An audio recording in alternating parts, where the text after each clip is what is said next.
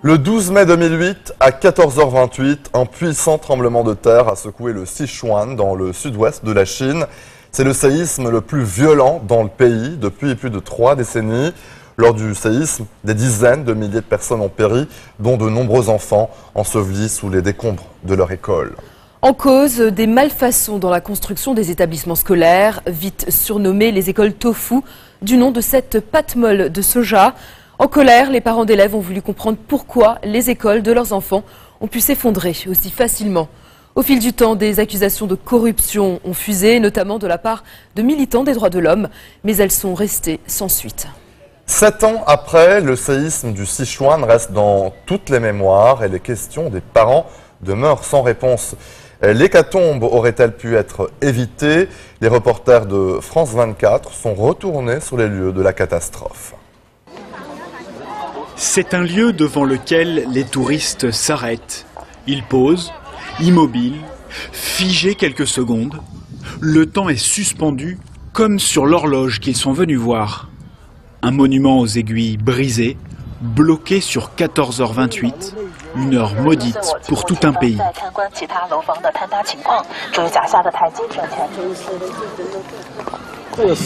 Ce monument représente l'heure exacte du tremblement de terre. La signification est symbolique.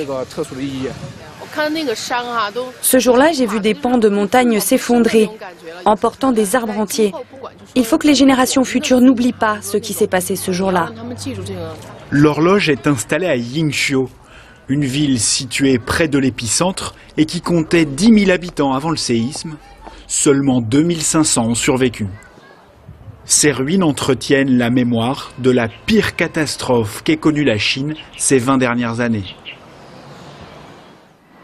À 100 km de l'épicentre, dans la ville de Chengdu, la capitale du Sichuan, une survivante a refait sa vie. Madame Zhang se souvient parfaitement de ce 12 mai 2008, un jour qu'elle aimerait laver de sa mémoire. Elle travaillait à Yingxiu comme ouvrière dans une fabrique de médicaments. Ce jour-là, comme tous les jours, elle prend son service à 13 heures. Tout d'un coup, les murs se sont mis à trembler. J'ai pris peur, j'ai réalisé que c'était un tremblement de terre. Je me suis réfugiée sous une table, mais tous les murs sont tombés. Ils ont cassé la table et moi, j'étais toujours en dessous. Elle reste coincée deux jours sous les décombres et survit grâce à quelques biscuits. Les secours parviennent à l'extraire, mais elle reste gravement blessée à une jambe. Aujourd'hui, à 38 ans, elle cache une souffrance bien plus douloureuse encore.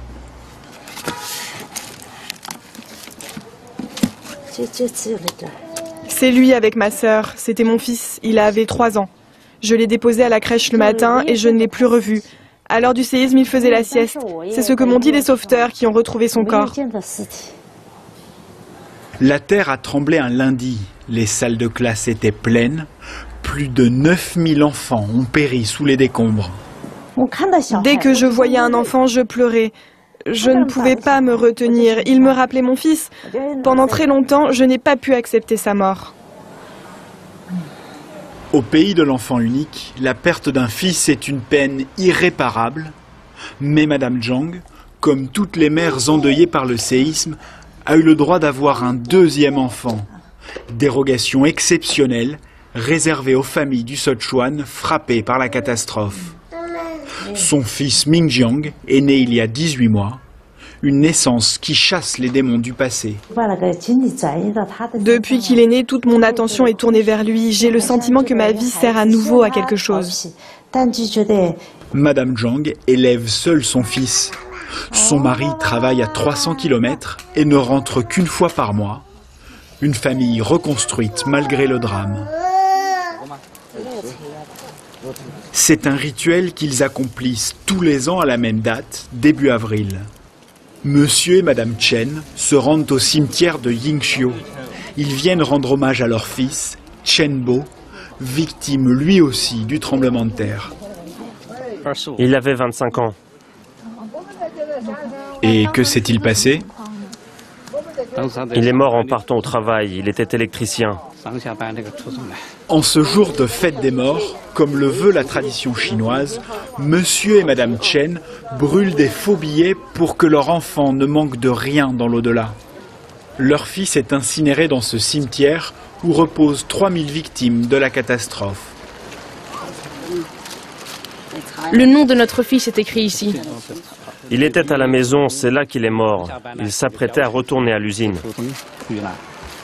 Après la tristesse et le recueillement, vient la colère. Monsieur et Madame Chen veulent nous montrer les ruines de leur appartement sur l'autre rive. Regardez, c'était ici, juste là. 19 personnes ont trouvé la mort dans cet ancien immeuble, dont leur fils, enseveli sous les décombres, chez eux, au rez-de-chaussée. En 2008, Madame Chen avait 53 ans. Le séisme a donc emporté son fils unique et toute chance d'être mère à nouveau. Une amie m'a envoyé des photos du quartier juste après le séisme. Des corps avaient été sortis des gravats. Parmi eux, j'ai reconnu mon fils grâce à ses vêtements. C'est la dernière image que je conserve de lui. Je ne peux plus en parler. L'immeuble ne respectait aucune norme antisismique et la famille Chen ignorait tous des risques encourus. On ne savait pas que la zone était dangereuse. Il y a bien eu un tremblement de terre dans les années 1970, mais on l'avait tous oublié. Personne ne nous a prévenus du danger. Sept ans après le séisme, toutes les traces de leur ancienne vie ont disparu. Les stigmates de la tragédie sont toujours bien visibles dans une ville, Beichuan. Située sur l'épicentre, elle a été rasée à 80%. Aujourd'hui, Beichuan est devenue une ville musée, ouverte au public mais fermée aux journalistes. Toutes nos demandes de tournage ont été refusées. Nous nous faisons donc passer pour des touristes qui viennent contempler les rares immeubles encore debout. Toutes les télévisions parlaient de cette ville, je m'en souviens très bien. Je suis venu de Shanghai exprès pour voir ça de mes propres yeux. Je suis ému de voir ce mémorial, c'est très impressionnant. C'est la première fois qu'un tremblement de terre a fait de tels dégâts dans l'histoire de la Chine. Beichuan, ville symbole du drame. 20 000 personnes sont mortes, soit les trois quarts des habitants. Le collège a été ravagé. L'établissement comptait 2000 élèves, 1500 ont perdu la vie. Mais ces ruines sont introuvables. Le circuit touristique indique bien l'emplacement de l'ancien siège du Parti communiste local, de diverses administrations, mais aucune trace de l'école martyre, pourtant emblématique de la catastrophe. En caméra discrète, nous posons la question au personnel du site. Excusez-moi, où se trouve l'ancien collège? Le collège Il était là-bas. Vous ne verrez rien. Maintenant, il y a un musée à la place. Voici le musée en question. 140 000 mètres carrés en hommage aux pompiers, aux sauveteurs, aux militaires et à tous ceux qui ont participé à la reconstruction du Sichuan. Mais l'hommage le plus appuyé est réservé aux politiques. Deux salles entières à la gloire de Hu Jintao, le président de l'époque, et de son premier ministre Wen Jiabao. La propagande soigne également Xi Jinping, l'actuel chef de l'État. Il venait alors d'être nommé vice-président.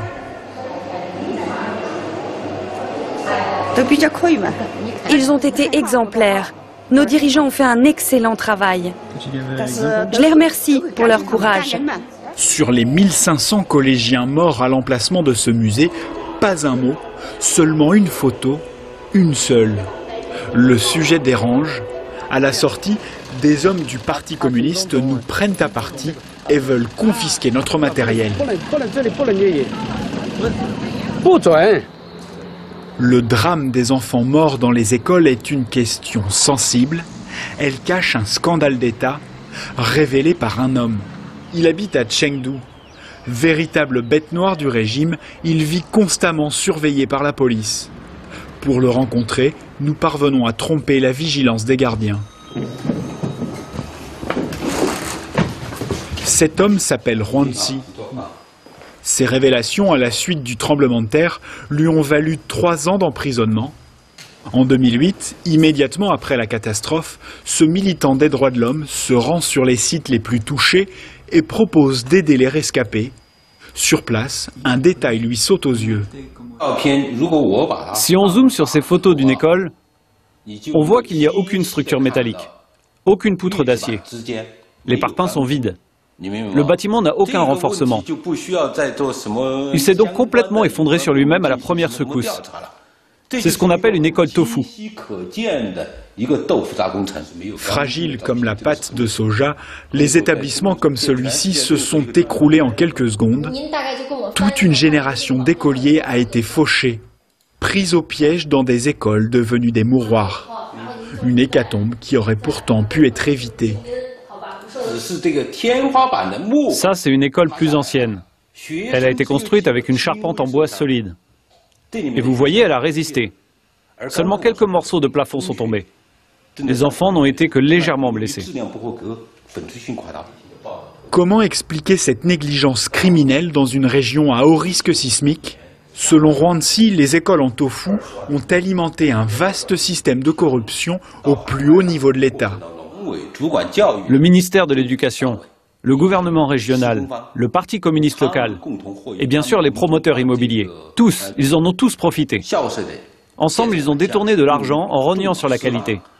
Ils ont construit exprès des écoles moins chères avec des matériaux de mauvaise qualité. Ces révélations publiées sur Internet révoltent les lecteurs. Des familles de victimes s'organisent et tentent de porter plainte contre l'État. Les autorités répliquent. Rwansi est arrêté, condamné pour violation de secret d'État. Son site est fermé et les manifestations interdites. En 2012, il est libéré et poursuit sa lutte contre la corruption qui a repris de plus belle. Je me suis rendu plus de 20 fois sur les chantiers de reconstruction des villes frappées par le séisme. À chaque fois, je vois des bâtiments tofu. Des immeubles sont reconstruits de la même façon que les anciennes écoles. Les mêmes erreurs sont reproduites. Tout est comme avant. On remet la vie des habitants en danger. Dans le Sichuan, la société civile ouvre les yeux et découvre les pratiques crapuleuses de certains dirigeants. Pour éviter toute contagion de la protestation, le gouvernement choisit la répression. En 2008, partout en Chine, la censure a été très forte. Aujourd'hui, la situation est la même. On ne peut rien dire. Les activistes comme Rwansi restent muselés. Victimes d'intimidation régulières, ils risquent une nouvelle condamnation. Pour les familles de victimes, les autorités obtiennent le silence par un autre moyen, l'argent. Madame Zhang, qui a perdu son premier enfant dans la tragédie, se rend trois fois par semaine à l'hôpital. Elle fait partie des 300 000 blessés du tremblement de terre. Sa jambe, coincée sous les gravats pendant le séisme, n'a pas pu être sauvée. Des séances d'acupuncture l'aident à supporter sa prothèse.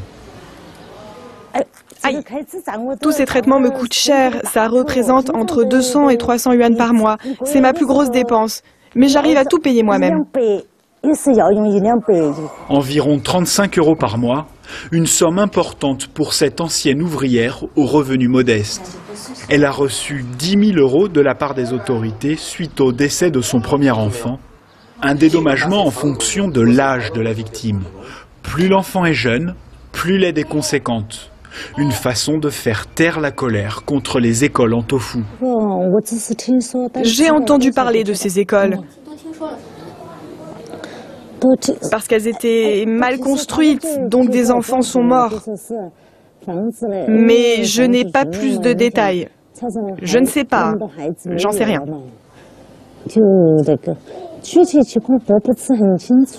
Peu à peu, les autorités font passer le drame de 2008 pour une simple catastrophe naturelle, sans aucune réplique politique. Il a pourtant bien fait naître une conscience civique contre la corruption des élites devenue aujourd'hui la première préoccupation des Chinois.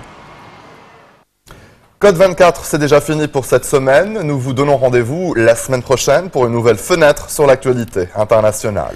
Vous pouvez revoir euh, cette émission sur notre site internet. N'hésitez pas à nous envoyer vos commentaires à l'adresse qui s'affiche au bas de votre écran. Excellente suite de programmes sur notre antenne et très bonne soirée. Très bonne soirée.